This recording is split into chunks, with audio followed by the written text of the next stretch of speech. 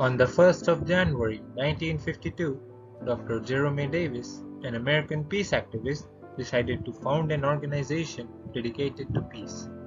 He named it Promoting Enduring Peace. Formed during the Cold War, its main purpose was resisting the ideology of nuclear terror and ceaseless aggression which characterized the period. In recent times, its programs include distributing news through peacenews.org, spreading awareness through education, and giving out the Gandhi Peace Award.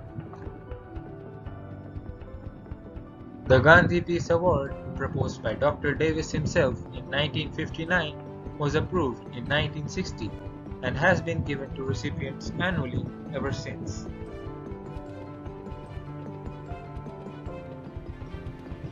From 2011 onwards, this has been accompanied with a cash prize as well. The award is symbolized with a bronze medallion and a certificate giving a summary of the recipient's work. The medallion has Gandhiji's words inscribed on it Love ever suffers, never revenges itself. The first ever recipient of the award was Eleanor Roosevelt, the wife of former US President Franklin D. Roosevelt. Some other laureates include Linus Carl Pauling, a chemist who campaigned against nuclear war, and Martin Luther King Jr., a prominent leader in the US civil rights movement. Some of the recent laureates include Medea Benjamin, Bill McKibben, and Amy Goodman. In 2020, the award was shared by two honorees. One was Dr. Zaher Sahloul. He helped build hospitals in Syria and is currently helping fight COVID-19.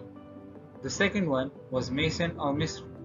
She is a leader in the Syrian civil defense and helps recover bodies and survivors from under the rubble of Assad and Russian bombs.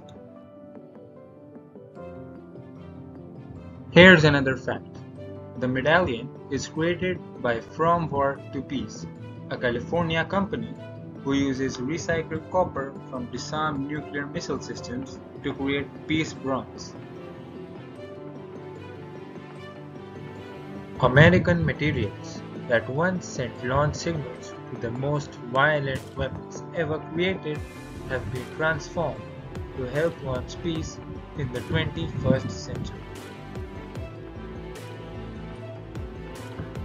Hence, Mahatma Gandhi's hope for a peaceful world lives on.